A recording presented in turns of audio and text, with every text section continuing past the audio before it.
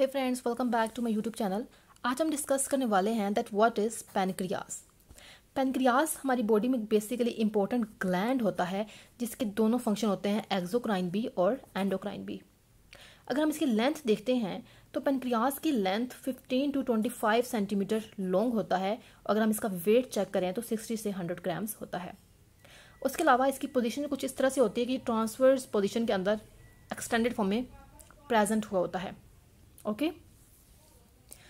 अगर हम, अब हमें ये तो मालूम हो गया कि ये ग्लैंड है, इसके एक्जोक्राइन एंडोक्राइन फ़ंक्शन होते हैं, इसका वेट इसका लेंथ क्या है, इसकी पोजीशन क्या है? लेकिन हमें ये नहीं पता कि इसके पार्ट्स कौन से हैं। तो पेनक्रियास के बेसिकली चार जो है, वो पार्ट्स में डिवाइड हुआ होता है।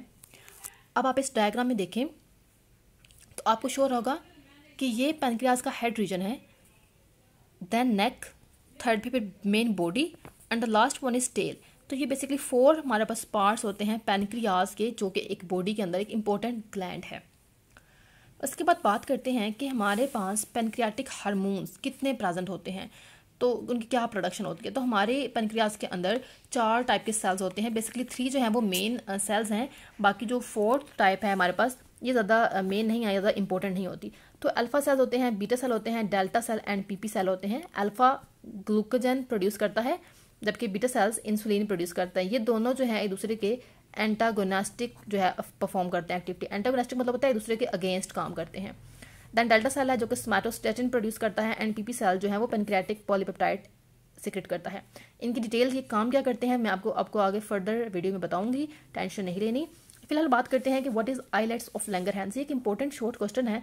अक्सर पूछा जाता है कि what is islets of Langerhans तो जब हम पेनक्रियास को क्रॉस सेक्शन में देखते हैं तो आपको लैंगर हैंड्स के आइलेट्स नज़र आते हैं। बेसिकली ये स्पेशलाइज क्लस्टर्स होते हैं पेनक्रियाटिक सेल्स के, जो एंडोक्राइन फ़ंक्शन परफॉर्म करते होते हैं। ठीक है? कौन परफॉर्म करता है एंडोक्राइन फ़ंक्शन पेनक्रियास के अंदर तो आइलेट्स ऑफ़ लैंगर हैंड्स जो सेल्स हैं स्पेशलाइज सेल्स ये परफॉर्म करते हैं। इसमें थ्री टाइप के सेल्स प्रेजेंट होते हैं। ठीक है? सबसे पहले ए सेल है बी सेल है एंड डी सेल है, जिसमें ए सेल आ जाता है ग्लूकोजन सिक्रेशन करता है बी सेल्स इंसुलिन की सिक्रेशन करता है, जो कि बहुत इंपॉर्टेंट है हमारी बॉडी के अंदर। और डेल्टा सेल जिसको डी सेल बोल रहे हैं, वो सोमैटोस्टेटिन सिक्रेशन करता है। अब इसमें देखें कि ए और डी सेल जो हैं लोकेशन की बात की है कि ए और डी सेल जो है, वो पेनक्रियास के पेरिफरी पे जो है सेल की सेल की पेरिफरी पे प्रेजेंट होते हैं, जबकि बीटा सेल जो है, वो इंटीरियर साइड पे जो है, वो बिल्कुल प्रेजेंट होते हैं। अगर मैं आपको इसकी लोकेशन दिखाऊँ सेल्स की तो वो कुछ इस तरह से है। ये देखें। आपको नज़र आ रहा होगा, ये अल्फ़ा और बीटा सेल्स सेंटर में पड़े हैं यहाँ पे, ठीक है? ये डेल्टा सेल्स यहाँ पे नज़र आ रहे हैं तो ये इनकी कुछ लोकेशन है, ठीक है? ये देखें डेल्टा और जो अल्फ़ा सेल्स हैं साइड पे, जो बीटा ये देखें बीटा सेल्स नज़र आ रहे हैं तो कुछ इस तरह से इनकी पोजीशन है, आप भी देख लें। ये हमारे पास एफ़ सेल्स भी प्रेजेंट हैं इसके अंदर, ये एक्जोक्राइन पेनक्रियास के जो एक्राइन और डक्ट सेल हैं, वो बाउंड्री में प्रेजेंट है, ठीक है? तो ये हमारे पास डायग्राम है, किस किस किस चीज़ की? आईलेट्स ऑफ़ लैंगर हैंड्स का ये क्रॉस सेक्शन आपको नज़र आ रहा है। अब देखते हैं कि हमारे पास इंसुलिन क्योंकि इंसुलिन जो है वो एक इंपॉर्टेंट हार्मोन है पेनक्रियाज का तो हम देखते हैं कि इंसुलिन का क्या काम होता है, उसका क्या स्ट्रक्चर होता है। इंसुलिन का अगर हम स्ट्रक्चर को देखते हैं तो इंसुलिन एक पॉलीपेप्टाइड हार्मोन है, ठीक है? अगर हम इसकी नेचर देखें तो ये पॉलीपेप्टाइड हार्मोन है, जिसमें दो चेन्स होती हैं, एक अल्फ़ा चेन है और एक जो है हमारे पास बीटा चेन होती है। अब ये दोनों चेन्स जो है, एक और हार्मोन जिसका नाम है प्रो इंसुलिन ठीक है? इस हार्मोन से ड्राइव हुई होती हैं और दोनों चेन्स जो हैं, वो डाइसल्फाइड बोन जो है, उससे एक दूसरे से ज्वाइन हुई होती हैं। तो ये इसका था स्ट्रक्चर के इंसुलिन जो है बेसिकली है क्या चीज़, और कैसे उसका जो है ड्राइव कहाँ से हुआ, और उसका ज्वाइनिंग कैसे है। आप देखते हैं कि इंसुलिन का रोल बेसिकली क्या होता है। इंसुलिन जो है वो बॉडी के टिश्यूज़ पे एक्ट करता है स्पेशली लीवर टिश्यूज़ के ऊपर स्कैल्टल मसल के ऊपर एडिपियस टिश्यू के ऊपर। क्यों? ताकि वो सेल्स जो हैं, वो टिश्यूज हैं, ज़्यादा से ज़्यादा ग्लूकोज को अपटेक करें, ज़्यादा से ज़्यादा अमाइनो एसिड की अपटेक करें और बॉडी के अंदर, यानी कि ब्लड के अंदर जो ग्लूकोज लेवल है, वो डिक्रीज कर जाए, ठीक है? तो इंसुलिन का काम क्या होता है कि ये जो है ब्लड के अंदर जो ग्लूकोज का लेवल है, उसको कम करने की कोशिश करता है पूरी से पूरी, और करता भी है। इंसुलिन अगर नहीं होता तो मोस्ट टिश्यू अब इंसुलिन अगर नहीं है ना तो कुछ टिश्यू ऐसे हैं जो अपटे करते ही नहीं है ग्लूकोज को, ठीक है? बिल्कुल नहीं करते, ना ही अमाइनो एसिड की जो है वो अपटे करते हैं सवाए ब्रेन के। ब्रेन जो है वो फिर भी मतलब ब्रेन जो है, उसको ज़रूरत नहीं होती इंसुलिन की, वो इंसुलिन के बगैर भी काम कर लेता है। अब ग्लाइकोजन प्रोडक्शन जो होती है, यानी कि ग्लूकोज की स्टोरेज ग्लूकोज स्टोर होता है in the form of glycogen और ये लीवर और मसल के अंदर होती है स्टोरेज अब इसकी स्टोरेज से क्या होता है कि लिपिड सेंथेसिस होती है, यानी कि फ्री फैटी एसिड और जो ट्राइग्लासराइड्स प्रेजेंट होते हैं एडिपोस टिश्यू के अंदर, वहाँ पे जो है से लिपिड की सेंथेसिस करवाई जाती है। उसके अलावा जो है पोटाशियम अपटेक भी इंसुलिन करवाता है सेल्स के अंदर। तो ये एक अलग उसका फ़ंक्शन है। मेन फ़ंक्शन क्या था उसका? कि ग्लूकोज का लेवल जो है वो ब्लड के अंदर उसने काम करना होता है। अब बात करते हैं कि इंसुलिन के कुछ रिसेप्टर्स प्रेजेंट होते होंगे। तो जी हाँ इंसुलिन के रिसेप्टर्स प्रेजेंट होते हैं, जिसके दो सब यूनिट्स हैं।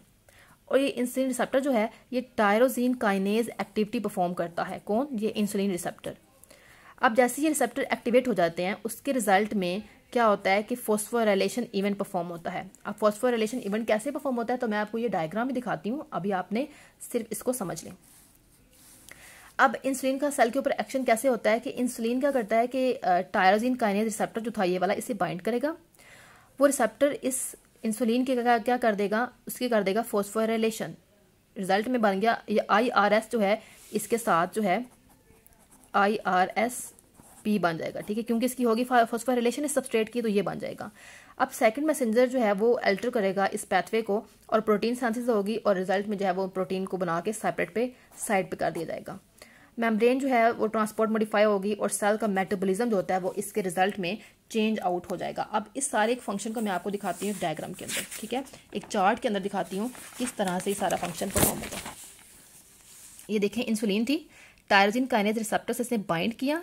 सेकेंड पे क्या हुआ कि जो हमारे पास, ये हमारे पास था इंसुलिन रिसेप्टर सबस्ट्रेट उसको कन्वर्ट कर दी गया, क्योंकि फोस्फोरिलेशन हुई इसकी तो बना इंसुलिन रिसेप्टर सबस्ट्रेट फोस्फोरिलेट हो गया। सेकंड मैसेंजर जो पैथवे आई ट्रांसक्रिप्शन फैक्टर न्यूक्लियस से, उसने ट्रांसपोर्ट एक्टिविटी परफॉर्म की और एंजाइम्स की एक्टिविटी इंक्रीज डिक्रीज हुई, जिसके रिज़ल्ट में मेटाबॉलिज्म जो है वो सेल का चेंज हो गया। तो that was a diagram of insulin pathway के किस तरह से रिसेप्टर जो है एक्टिविटी परफॉर्म करते हैं।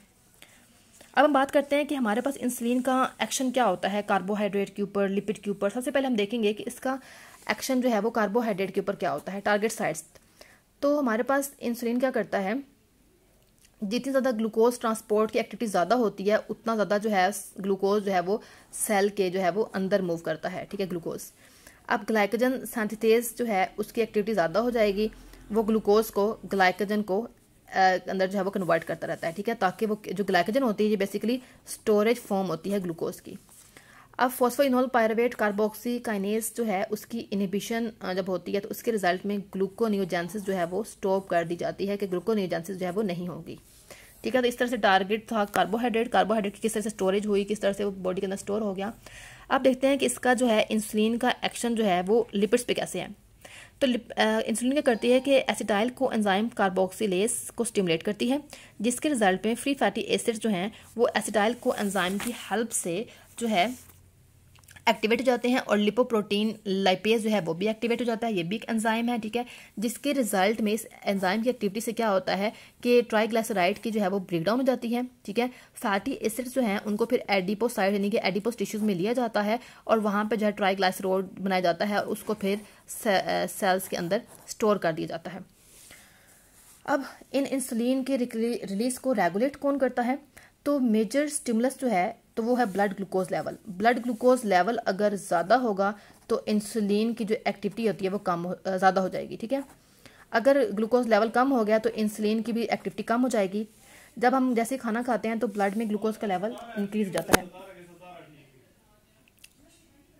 अब क्योंकि ग्लूकोज लेवल इंक्रीज हो गया है, इसलिए इंसुलिन की एक्टिविटी ज़्यादा हो जाती है और वो सारी जो है वो स्टोर हो जाती है। That was all about today video thank you so much if you like it do like and share thank you so much और further more I am going to show you one more diagram sorry there is a blood में देखें glucose level increase हुआ तो क्या हुआ कि beta cell जो है पेनक्रियास के वो पॉजिटिव uh, जो है फीडबैक शो कर रहे हैं इंसुलिन रिलीज़ करना शुरू हो गया है। लीवर को उसने कहा कि चलो ग्लाइकोलिसिस ज़्यादा करो ग्लूकोनियोजेंसिस करो लिपोजेंसिस करो। जिस जिसके रिज़ल्ट में इसका लेवल जो है वो डिक्रीज हो गया। Thank you